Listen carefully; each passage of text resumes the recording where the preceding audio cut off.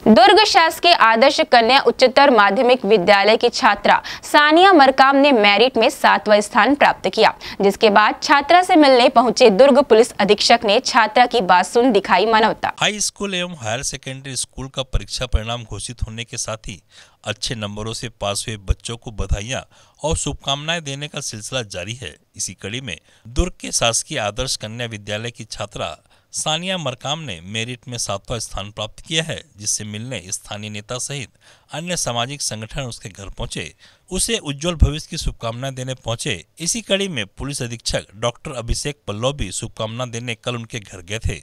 तो सानिया ने पुलिस अधीक्षक से अपने पिता से मिलाने के लिए अपील की। सानिया के पिता जेल में निरुद्ध हैं। सानिया की बात सुनकर पुलिस अधीक्षक महोदय ने तत्काल जेल प्रशासन से बात कर आज स्वयं जेल परिसर में उपस्थित होकर सानिया को उनके पिता से जेल में मुलाकात करवाई। इस अवसर पर एक पिता से उसकी बेटी और परिवार को एक साथ मिलाने दुर्ग पुलिस ने मानवता का परिचय दिया।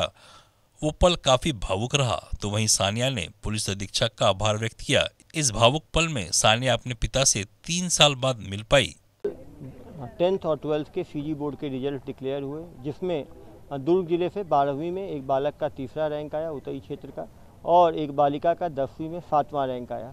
दोनों के घर बधाई देने के लिए मैं पहुँचा।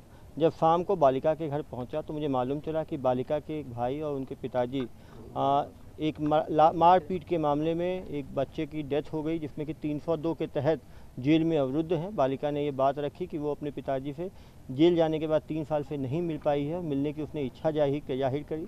तुरंत जेलर महोदय से बातचीत की गई और आज, अगले दिन ही आज का डेट लेकर वहाँ परिवार सहित उनको मिलाया गया। पिताजी और बालिका दोनों काफ़ी भावनात्मक, भावुक हो गए। कहीं ना कहीं खुशी के आँसू थे। पिता के प्राश्चाताप के भी आँसू थे कि जो उसने किया।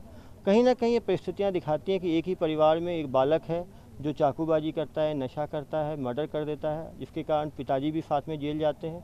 और एक उसी परिवार में एक बालिका है जो कि पढ़कर अपने कलम की ताकत से राज्य भर में सातवीं रैंक लाती है।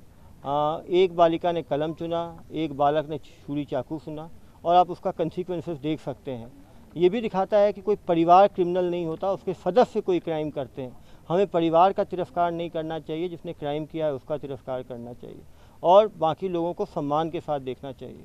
आ, इस बच्ची ने इतनी मुसीबतों के बाद परिवार में कोई कमाने वाला नहीं है पिता जेल में हैं परिवार में नौ भाई बहन हैं सब भाई बहन पढ़ने वाले हैं फाइनेंशियल प्रॉब्लम्स के बावजूद उसने अपनी मेहनत से शासकीय स्कूल में पढ़ते हुए सातवां रैंक हासिल किया। ये उन सभी बालक बालिकाओं के लिए एक मेंटर हैं एक आ, ये हैं कि यदि आप मेहनत करते हैं तो समस्याएँ आपको रोक नहीं सकती।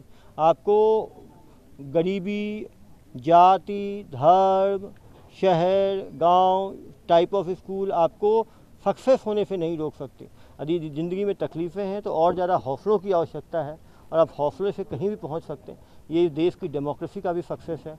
कि गरीब परिवार से आई हुई बच्ची जिसके पिताजी जेल में हैं, वो भी मेहनत करके सातवां रैंक हासिल कर पाती है, एक सपने देख सकती है और निश्चित रूप से राज्य शासन, जिला प्रशासन और हमारी तरफ़ पुलिस प्रशासन की तरफ़ से जो मदद हो पाएगी, इनको किया जाएगा और इनके फादर का ट्रायल भी फास्ट ट्रायल में डाला जाएगा, जिससे जल्दी उनको जो भी सज़ा कानून की तरफ़ से मिले, वो पूरा करके वो बाहर निकलें और परिवार के साथ री इंटीग्रेट कर पाएँ। निश्चित रूप से बालिका ने अपनी मेहनत से अपने परिवार को, अपने वार्ड को, शहर को गौरवान्वित किया दुर्ग से नसीम फारूकी की रिपोर्ट।